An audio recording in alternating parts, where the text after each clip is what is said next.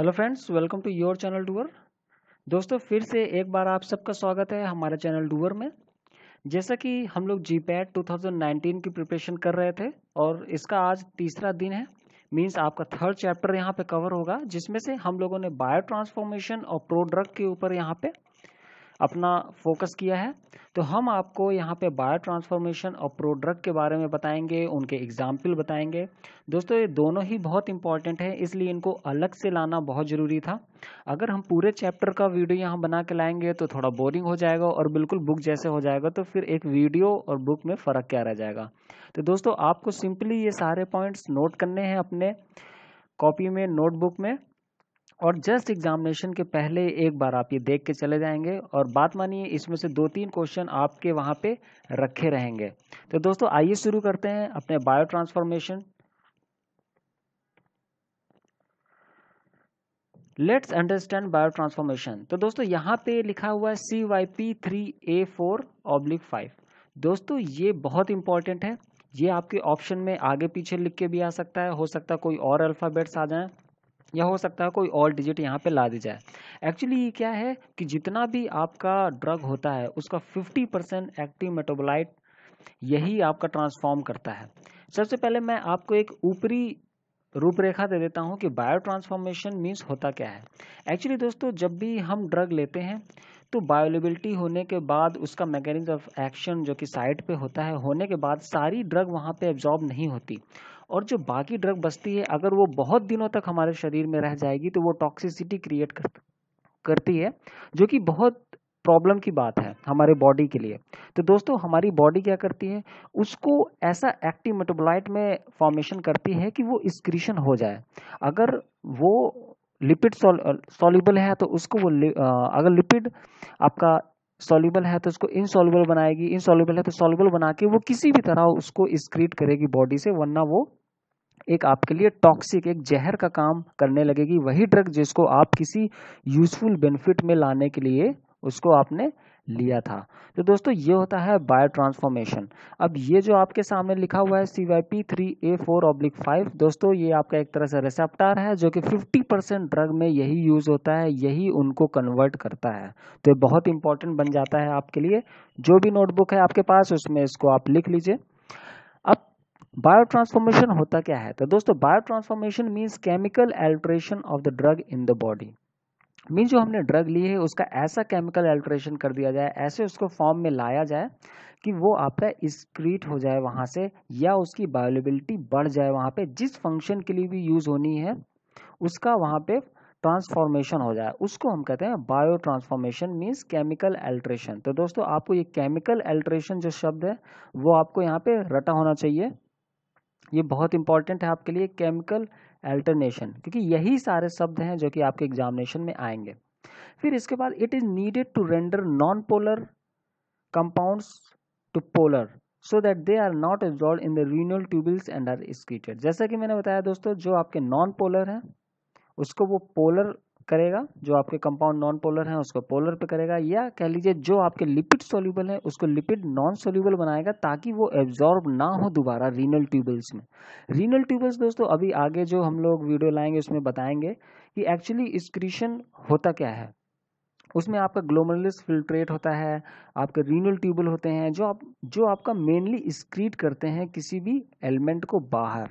तो ये renal tubal में दोबारा ना एब्जॉर्ब हो जाए और वहाँ पर रह के वो टॉक्सिसिटी क्रिएट करें। इसके लिए यहाँ पे उसको नॉन पोलर फॉर्म का जो कंपाउंड है, उसको पोलर बनाया जाता है या जो लिपिड सोल्यूबल है, उसको लिपिड नॉन सोल्यूबल बनाया जाता है और उसको बॉडी से स्क्रीट कर दिया जाता है। फिर the primary site is liver तो दोस्तों, आपको ये रटा होना चाहिए। बहुत दिखेगा बुक में कि प्राइमरी साइट कौन सी आपसे पूछा सकता है what is the primary site तो आपको बताना है कि the primary site is liver and others are kidney intestine lungs and plasma फिर व्हाट इज़ प्रोड्रग ये कम से कम दोस्तों तीन चार बार पूछा जा चुका होगा आपके एग्जामिनेशन में। प्रोड्रग बहुत इंपॉर्टेंट है। वैसे भी अगर आप फार्मा के स्टूडेंट हो तो आपको प्रोड्रग समझना बहुत ज़रूरी है। प्रोड्रग एक्चुअली होता क्या है दोस्तों कि हम लोग ड्रग लेते हैं, वो पहले तो इनएक्टिव फॉर्म में होती है, लेकिन बाद में या तो वो साइट ऑफ़ एक्शन वहाँ जाके वो कन्वर्ट होकर एक्टिव फॉर्म में आ जाती है और अपना एक्शन मैकेनिज्म ऑफ़ एक्शन शुरू करती है। उसको हम लोग कहते हैं, या सिंपली हम जो ड्रग लेते हैं, वो एक एक्टिव मेटाबोलाइट में आ जाती है और अपना काम वो शुरू करती है।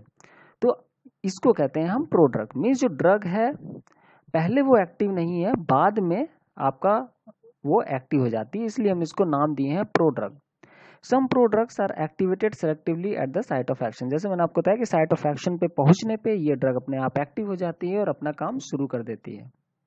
Active drug and its active metabolite दोस्तों, ये बहुत इंपॉर्टेंट है। ये सारे एग्ज़ाम्पल आपको के डी त्रिपाठी में मिल जाएँगे, लेकिन साथ ही साथ इनको वहाँ न रहने दीजिए, क्योंकि बुक जो होती है वो बहुत ज़्यादा मोटे वॉल्यूम में होती है और उसको देख के घबराहट ही होती है। तो इससे अच्छा यह है दोस्तों, अपना खुद का नोट्स बनाएँ और इसमें सारी चीज़ डाल दें ताकि एग्जामिनेशन से एक हफ़्ते पहले जब आप रिविज़न शुरू करें तो आपको ये सारी चीज़ें वहाँ पर मिल जाएँ।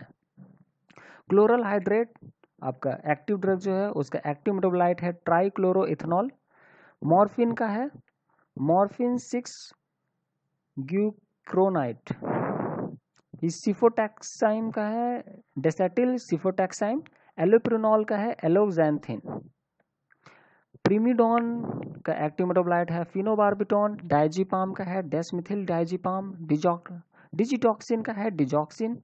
इसमें बहुत कन्फ्यूज़न होता है दोस्तों। इसको आप समझ लीजिएगा कि एक्टिव ड्रग क्या है और एक्टिव मेटाबोलाइट क्या है। क्योंकि आपको एग्जामिनेशन में पूछा जाएगा, आगे पीछे रख देंगे ऑप्शन में और पूछा जाएगा कि इसमें से एक्टिव मेटाबोलाइट कौन सा है। तो वहाँ पे आप गलती कर सकते हैं। इसी तरह एमिप्रामाइन है जो कि एक्टिव मेटाबोलाइट है, उसका डेसीप्रामिन अमीट्रिप्टलिन का है नॉट्रिप्टलिन कोडीन का मॉर्फिन स्पायरनो लैक्टॉन का है कैंड्रिनॉन लोजाल्टन का E three one seven four दोस्तों, इन सब में से बहुत से ऐसे ड्रग हैं जिनका मैकेनिज्म और एक्शन ज़रूर आपको रटा होना चाहिए, जो हम बाद में भी बताएँगे। अभी वो आपका चैप्टर आएगा डिजॉक्सिन जैसे हो गया, फिर आपका स्प्रिनो लैक्टॉन हो गया, इन सब का बहुत इंपॉर्टेंट है। फिर प्रोड्रग एवं एक्टिव फॉर्म ये उनसे ज़्यादा इंपॉर्टेंट है। जो अभी आपने पढ़े एग्ज़ाम्पल प्रोड्रग और उसके एक्टिव फॉर्म लीवोडोपा का डोपामीन हो जाता है इनेलाप्रिल का इनेलाप्रिलाई प्रिलैट हो जाता है। अल्फ़ा मिथाइल डोपा का अल्फ़ा मिथाइल नॉर इपिनेफ्रिन। डिपिर विफ्राइन का इपिनेफ्रिन। प्रोग्वेनिल का साइक्लोग्वेनिल। प्रेडनिसोन का प्रेडनिसोलोन। फिर बिकैम्पिसलिन का एम्पिसलिन। सल्फासेलाजीन का five amino salicylic acid. Fluorouracil का है फ्लोरिडिन मोनोफॉस्फेट और ए साइक्लोवीर का है ए साइक्लोवीर ट्राइफॉस्फेट। तो दोस्तों, ये हैं आपके प्रोड्रग उनके एक्टिव फॉर्म उसके पहले हमने देखा एक्टिव ड्रग और उनके एक्टिव मेटाबोलाइट उसके पहले हमने देखा प्रो ड्रग का मतलब क्या होता है बायो ट्रांसफॉर्मेशन का मतलब क्या होता है, और ये एग्ज़ाम्पल तो दोस्तों, आज का यही चैप्टर था। ये देखने में छोटा है, लेकिन इसमें से आपको दो तीन क्वेश्चन मिल जाएँगे और ये बहुत इंपॉर्टेंट है। इसको आप बार बार देखिए और इसको नोट कर लीजिए। ये सारे एग्ज़ाम्पल जो हैं, आपको रटने नहीं है, क्योंकि आपका फार्माकोलॉजी सब्जेक्ट बहुत ही वास्ट है। अगर आप देखोगे, कोई भी बुक उठाओगे, उसका बहुत ज़्यादा लार्ज वॉल्यूम है। तो इस तरह चीज़ें आपको भूल जाएँगी। आपको सिंपली क्या करना है?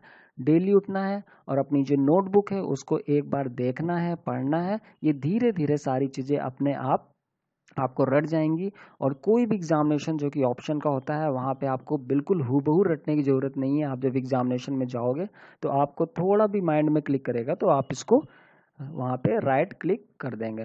तो दोस्तों, ये था आज का चैप्टर अगर इससे रिलेटेड कोई और क्वेरी हो तो वो भी हमें बताइएगा। उसके लिए ज़रूरी है कि आप हमारे Facebook page competition competitive exams of India में जुड़ जाएँ, या टेलीग्राम के थ्रू भी हमें बता सकते हैं। साथ में हमारा चैनल जो डूअर है, इसको ज़रूर सब्सक्राइब करिएगा। बेल आइकन ज़रूर आप क्लिक करिएगा, ताकि कोई भी वीडियो हम डालते हैं तो आपको वहाँ पे वो तुरंत नोटिफाई हो जाए, वहाँ पे मिल सके। साथ ही साथ अगर कोई भी वीडियो चाहिए किसी से रिलेटेड तो हमारे प्लेलिस्ट में भी एक बार नज़र ज़रूर डालिएगा। वहाँ पे भी आपको मिल जाएगा। जैसा कि आज एक बच्चे की क्वेरी आई थी कि जो सैलरी है जो आपका एक्स वाई जेड सिटी है, उसके लिए कोई वीडियो है कि नहीं? तो दोस्तों, ये सारी वीडियो आपके प्लेलिस्ट में जाके मिल जाएँगी। हम लोगों ने अलग से उनको नाम दे रखा है। आप सिंपली उसमें जाके सर्च कर लीजिए।